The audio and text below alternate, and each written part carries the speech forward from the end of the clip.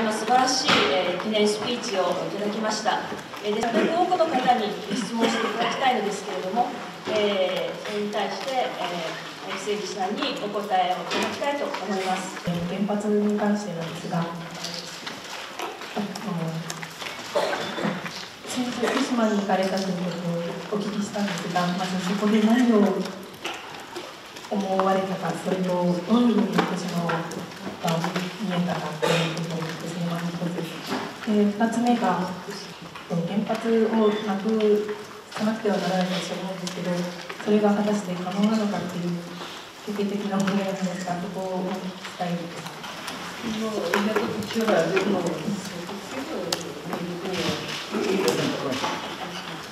Я проехал вокруг разговаривал с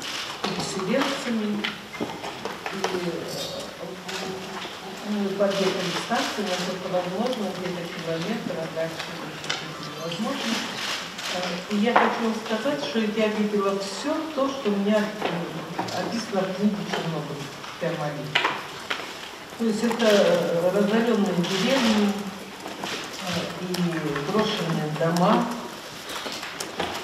И если лю- людям куда-то разрешили вернуться, хотя это очень, меня это удивительно, ну, на это даже ученые могут только сказать, потому что у нас, в общем-то, людям не разрешают возвращаться на эти земли на расстоянии 30 километров, поскольку там эти изотопы будут жить э, тысячи лет.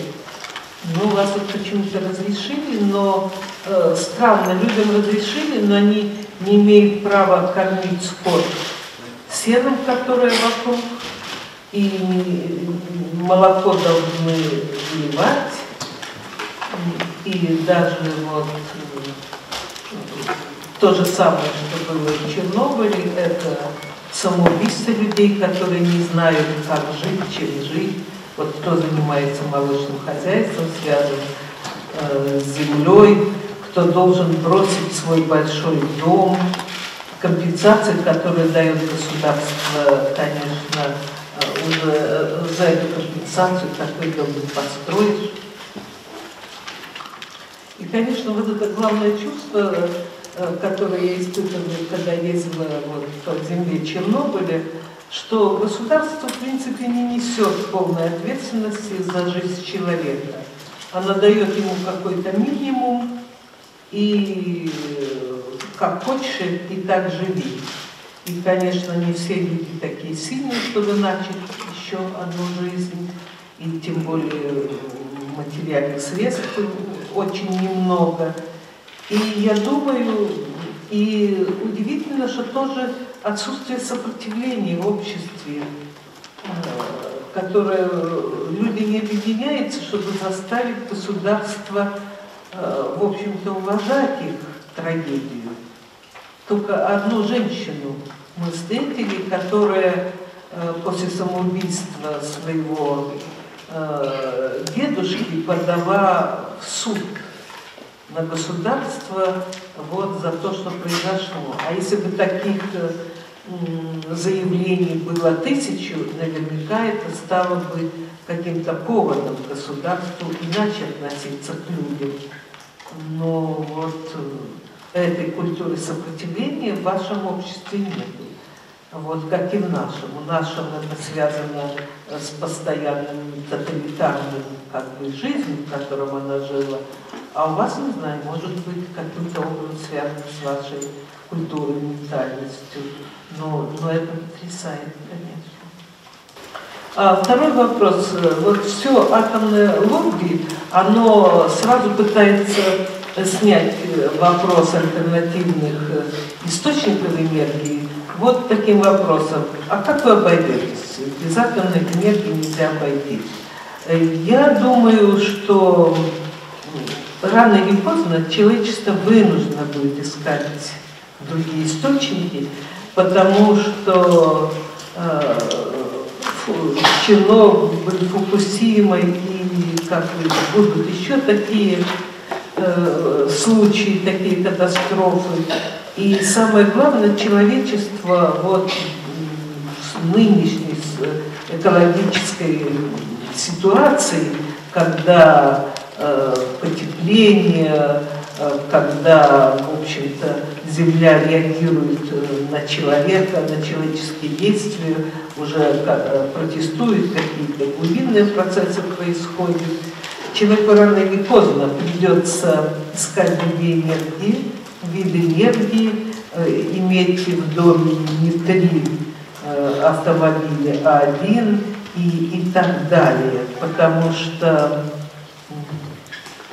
ну, мы заняли в природе такое царское место, а наверняка, наверняка это невозможно. Мы можем э, только вписаться в природу, а говорить с ней э, языком насилия, языком силы, это, конечно, путь самоубийственный. И я думаю, что эту проблему вот раз и завтра э, Прекратить атомные станции это невозможно, но начать думать о том, как это сделать и э, выделять как можно больше денег не на очередные Искандеры или там другие ракеты, которыми сейчас мир опять э, э, все больше и больше их делает в связи вот с этим возникшим русским фактором, Э, я думаю, нам надо думать все-таки об экологических проблемах, они, они сегодня главные. えっと、貴重なお話ありがとうございました。僕は アフガン戦争について、えー、質問をしたいと思います。えっと、まあ、えー、っと、アレクセイフさんの本の中に、えー、アフガン機関兵の証言という本があって、僕もこれまで何度も、えー、拝読させていただきました。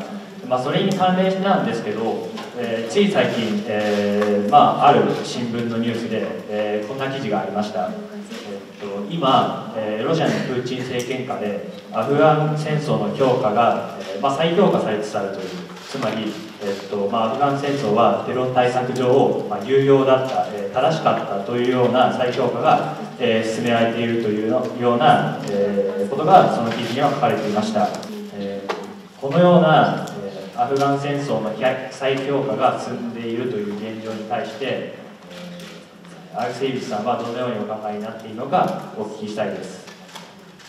Спасибо, хороший вопрос. とてもいい質問ありがとうございます。Потому что действительно Путин сейчас говорит совсем другое, чем говорил Горбачев. Говорил, Горбачев сказал, что это ошибка Афганистан. А Путин говорит, что да, правильно сделали, иначе если бы не мы, там бы не американцы. То есть э, все, все повторяется. И происходит такая милитаризация сознания сейчас, э, и вот этот некий новый патриотизм, что нам нужна великая Россия, и мы как бы опять за ценой не постоим, и чуть ли Путина иногда даже проскальзывают такие заявления, что можно и ядерное оружие в каких-то масштабах, как бы небольших, только как можно ядерное оружие применить в небольших масштабах. Так что действительно сегодня, ну, мягко говоря, не то, что просто страшное время.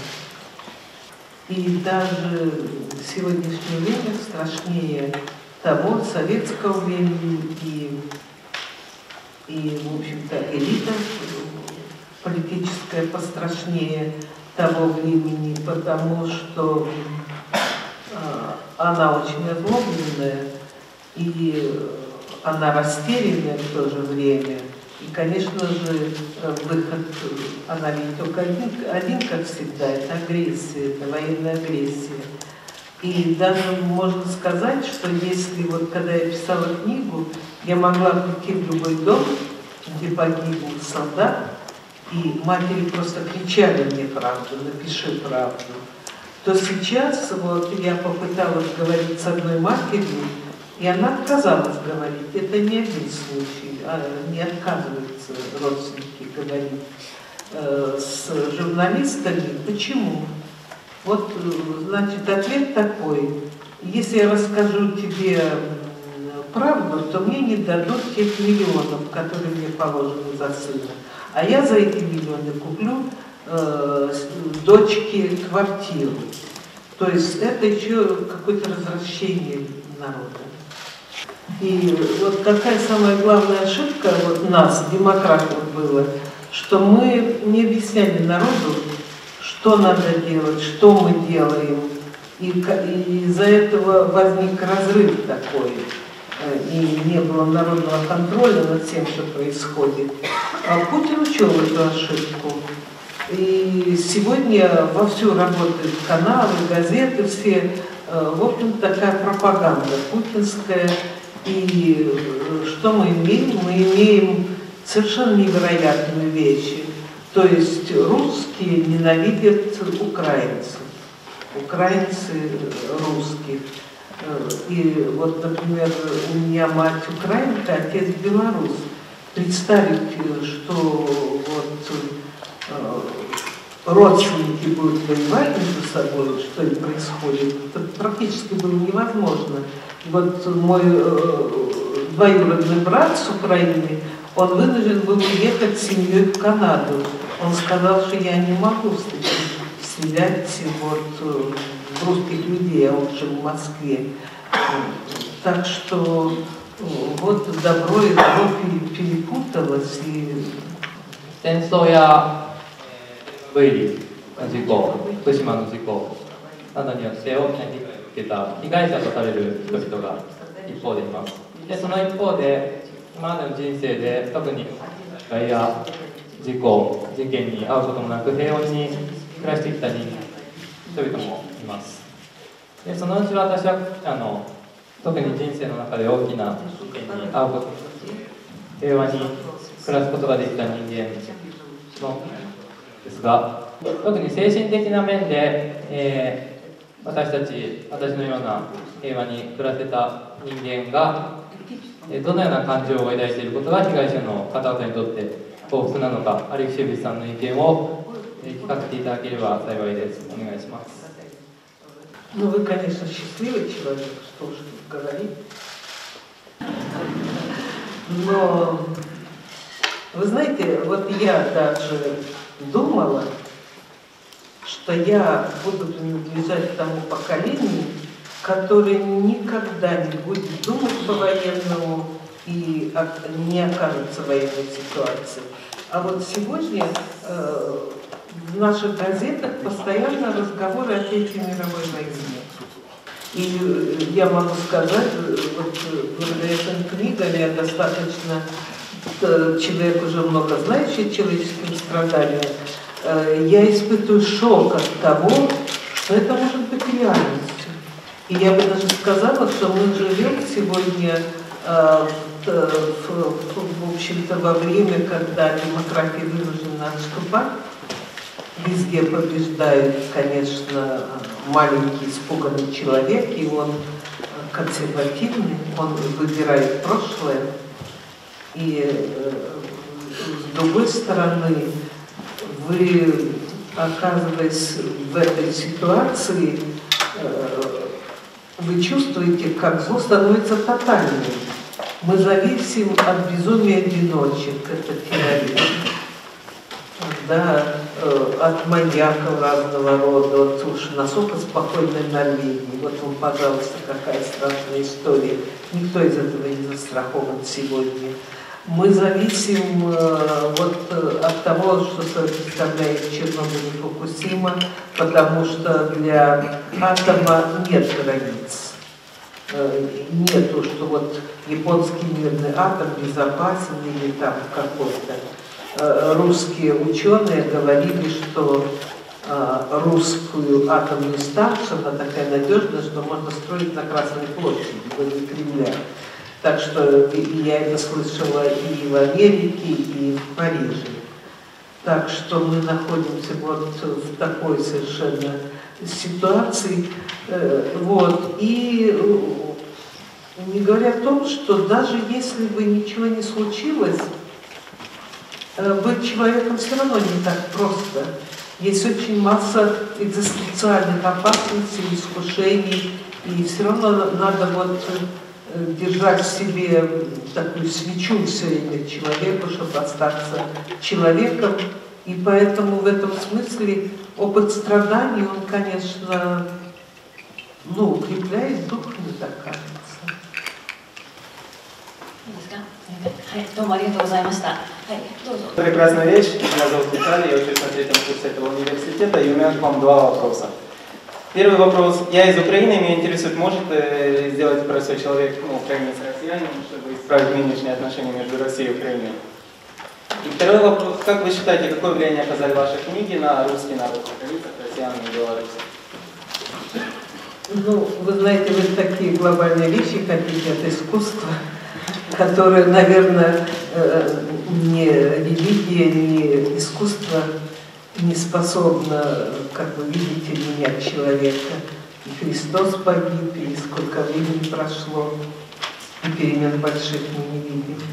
Я думаю, что искусство, как и религия, действует на э, таком э, другом, более тонком уровне, э, с отдельной человеческой душой и в какой-то степени может ее смягчить и может заставить ценить другую человеческую жизнь. И поэтому речь идет только об одном, э, чтобы, чтобы остаться человеком, в общем-то, другой защиты нет в этом мире.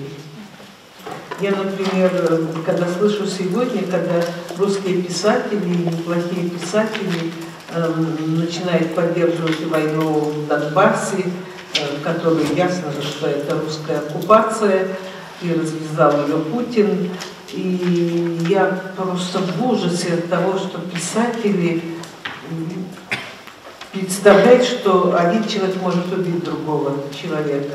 Я была на войне в Афганистане и видела убитых людей, и могу сказать, что это, ну, это очень грязное такое зрелище, это такое страшное зрелище, нечеловеческое, и никто меня не убедит, что что-нибудь стоит человеческой жизни.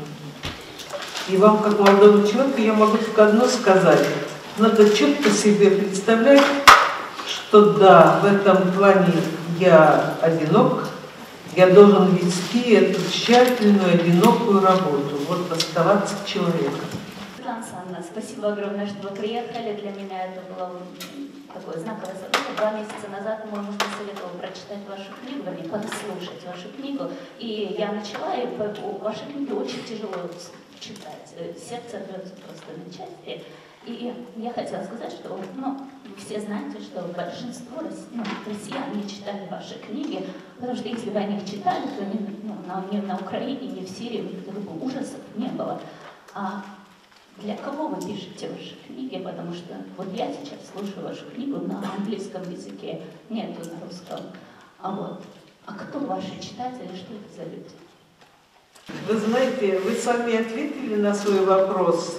Э, Я слушала вас и могу сказать, что вот такие лю- люди, как вы, вот такие люди читают э, книгу, э, мои книги, которые потрясены жизнью, которые хотят понять жизнь, э, зачем все это, что с нами происходит почему происходит. Э, Конечно, вот эти люди, которые там э, ужасные вещи делают на Донбассе, они вообще, не только меня, они вообще никого не будут, Достоевского не будут читать. Но, но, к счастью, есть другие люди, вот такие, как вы.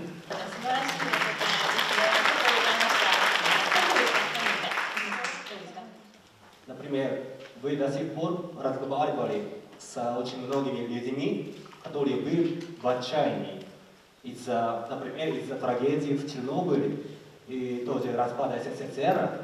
А как вы думаете, смогли ли они преодолеть эти невыносимые кошмары? А, Вы знаете, прекрасный вопрос, прекра- просто прекрасный.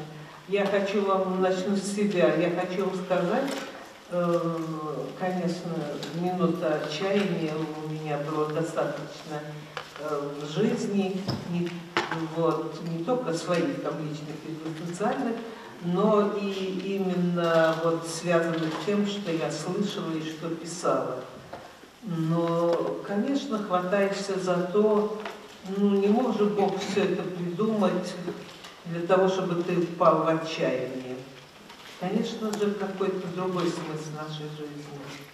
А спасает, что вообще людей, очень многие вещи. Спасает любовь, это не обязательно любовь там, к мужчине или женщине, это любовь к ребенку, это запах вот этого э, детского головки, там, тела, да, э, спасает природа, спасает музыка, спасает сама инерция жизни, что надо утром встать, выпить кофе и все дальше, э, вот это.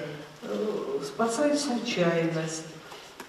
В общем-то, кто-то там наверху занят нашим спасением. Мне все и все-таки, несмотря ни на что, мне интересно. Вот тогда скажем, какая разница существует между тем, кому удалось выйти и пережить страх, и кому не удалось? Например, в вашей книге «Зачарование смерти» я очень люблю эту книжку. А, там вы брали интервью у тех, кто пытались окончить свою жизнь самоубийством. Кто-то кто не удалось. А, вот, как думаете, какая разница между ними существовать? Вы работали какой-то супер а, натуральной силой или еще какой-то другой фактор? Ну, наверное, можно сказать, что когда человека вытаскивали из того мира, то он мог э, уцепиться только за любовь, что вот любит его мать, сестра, вот бабушка, вот любимая девушка, ради, может быть, из-за которой он. То есть вот человек хватался вот я думаю, кроме любви, в общем-то, и не за что особенно схватиться. Да, спастись можно только любовью. В таком широком, конечно. Прекрасно. Спасибо.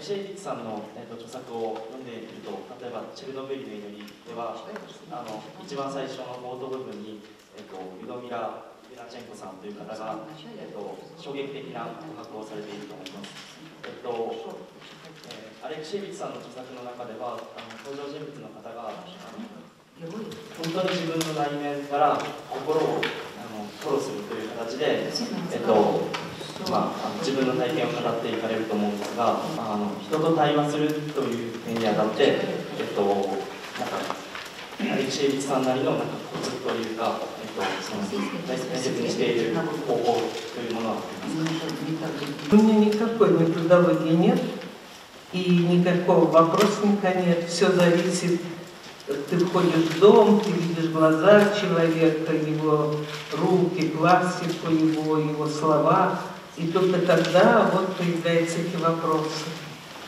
А, В общем-то, ты должен быть, э, наверное, хорошим человеком на первом месте, интересным человеком, и может быть даже сильным человеком, поскольку если придешь таким пустым человеком, то ну, человеку не за что будет э, вот, остановиться возле тебя, ему не будет смысла.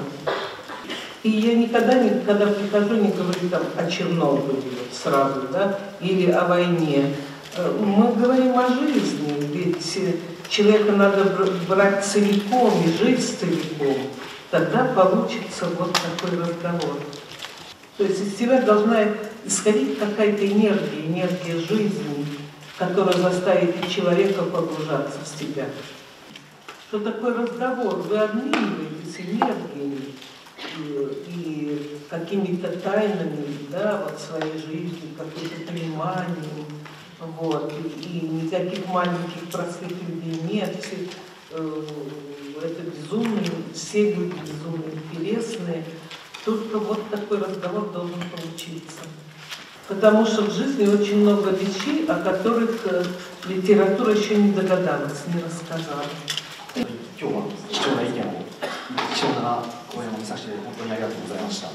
先ほど東大の方の質問であのどのような人がアレクセイビスさんの文学を読むかという質問に対してあなたのような人が読むというお話がありましたでじゃあ果たしてその読まない人にとってというかこれからの文学の価値あまた文学が語っていないことがあるとも直前の質問でありましたじゃあこれから先の文学というものは一体どのようなものになるんでしょうか Вы знаете, я думаю, что рациональная цивилизация, в которой мы живем после эпохи просвещения, очень надеясь на знание, чистое знание, она, в общем-то, терпит крах. Рациональный человек, как мы все больше понимаем, мир не спасет. Мир спасет гуманитарный человек. Э, Гуманитарный человек, э, для него другой человек – это какое-то божественное соз- создание.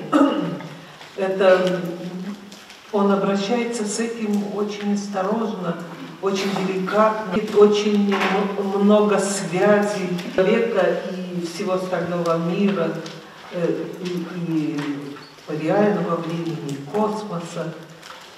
И я думаю, что литература бу- будущего, как я ее понимаю, потому что мы все сегодня, мы все травмированы историей войн, революций. Мы ведь люди с таким знанием, мы, мы в общем-то, больные, травмированные люди. Но не надо надеяться, что страдание как таковое исчезнет. Ведь даже если люди научатся жить в, в гармонии с собой, будут еще страдания э, животных, страдания деревьев, которые тоже э, умирают, вот э, как исчез лес в Фукусиме, да, целые, э, целые рощи. То есть страдание, оно бесконечное.